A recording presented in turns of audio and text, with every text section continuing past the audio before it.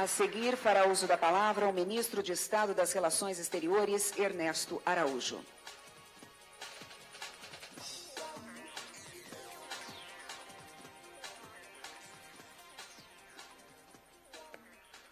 Muito bom dia, senhor presidente da República, Jair Bolsonaro, senhor ministro Paulo Guedes, senhor ministro Onix Lorenzoni, senhor presidente do BID, senhor presidente da PEC, senhor representante da OCDE, senhores ministros, senhor, senhores governadores, senhores oficiais generais, senhores embaixadores, todos aqui presentes, senhoras e senhores, é uma imensa alegria e uma honra para mim participar dessa edição do Brasil Investment Forum e contribuir para a ambiciosa e corajosa agenda de transformação do presidente Jair Bolsonaro.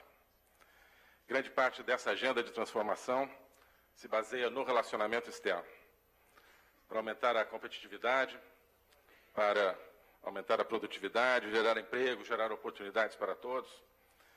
É necessária a abertura do país para o que há de mais avançado tecnologicamente, para o que há de mais avançado em termos de padrões de políticas públicas e de governança, para a plena integração do país às cadeias globais de valor.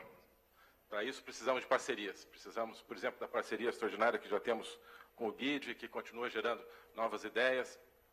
Ontem, no jantar de ontem, até conversando com o ministro Paulo Guedes e com o presidente do BID, já surgiram novas ideias de coisas que podemos fazer juntos. É, parcerias com todos os senhores, com todos os é, investidores.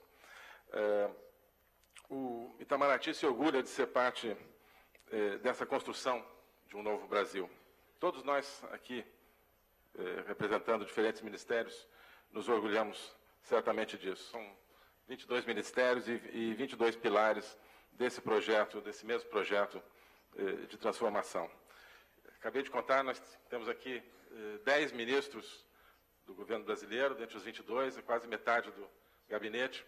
Eu acho que isso é um sinal extraordinário da relevância que nós atribuímos a esse foro e à coordenação, ao contato, ao diálogo com o setor privado, com os investidores. Não é todos os dias que nós vemos esse eh, nível de compromisso. Eh, a Apex, eh, ligada ao Itamaraty, mas conduzida por um conselho que tem, além do Itamaraty, o Ministério da Economia, o Ministério da Agricultura, vários outros órgãos do governo e órgãos do setor privado, é um símbolo dessa, desse trabalho em conjunto, dessa coordenação do governo brasileiro, e é um instrumento de, dessa política de engajamento externo, de abertura e de orgulho de ser quem somos. Nós eh, já deixamos claro em várias ocasiões, o presidente já deixou isso claro em muitas ocasiões, que eh, liberdade econômica e liberdade política vão necessariamente juntas. Estamos convencidos de que o eixo do patriotismo é aquele que faz rodar para frente, finalmente, o Brasil. Eh, administrações anteriores, algumas, acho que, infelizmente, nem tentaram a transformação, tentaram apenas aprofundar uma certa estrutura de poder. Uh, outras tentaram, tentaram reformas, mas uh, sem a, a convicção. Eu acho que tentaram um liberalismo sem povo. E pela primeira vez nós estamos tentando fazer um liberalismo com o povo. Né? Tentamos fazer, no passado, tentou-se fazer um liberalismo sem liberdade um liberalismo de fachada que não mexia com as estruturas seculares de poder do Brasil. Um liberalismo que não desafiava o sistema de atraso. Agora nós desafiamos. E com isso podemos ter uma política comercial que faz comércio, uma política de infraestrutura que faz infraestrutura, uma política educacional que educa, uma política ambiental que cuida do meio ambiente, uma política de tecnologia que atrai tecnologia e assim por diante, porque o povo brasileiro está mobilizado em torno desse projeto do presidente Jair Bolsonaro. Porque é, nós estamos nos ligando às cadeias globais de valor e também estamos nos ligando aos valores do povo brasileiro. Os é, resultados desse novo engajamento, interno e externo, já se fazem sentir, no caso da frente externa, na conclusão dos dois maiores acordos extra-regionais já negociados pelo Mercosul, como já foi mencionado, União Europeia e EFTA.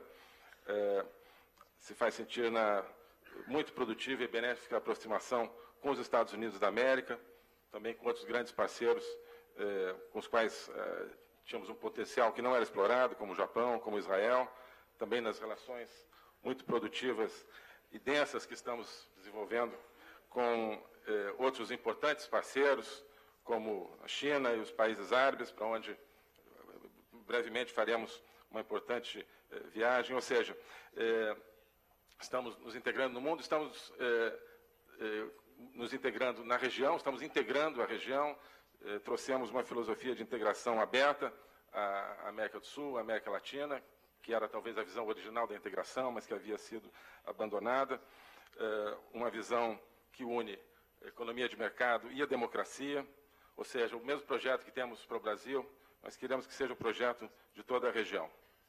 Liberdade econômica e liberdade política. Nós uh, estamos vivendo uma extraordinária uh, abertura, um extraordinário aumento de leque de opções. Uh, estamos prontos, nesse sentido, por exemplo, para começar o nosso processo de adesão ao CDE. Isso reforçará eh, toda essa dinâmica e toda essa agenda que nós temos. Eu tenho a convicção de que as discussões, os intercâmbios dessa edição do Brasil Investment Forum muito contribuirão para que nós continuemos nesse caminho de entrega de resultados que uh, atendem aos interesses dos brasileiros e acho que podem contribuir também uh, para a região e para o mundo, uh, ao criar um, um país mais próspero, dinâmico e com oportunidades de crescimento para todos, e ao mesmo tempo um país mais fiel a si mesmo. Muito obrigado.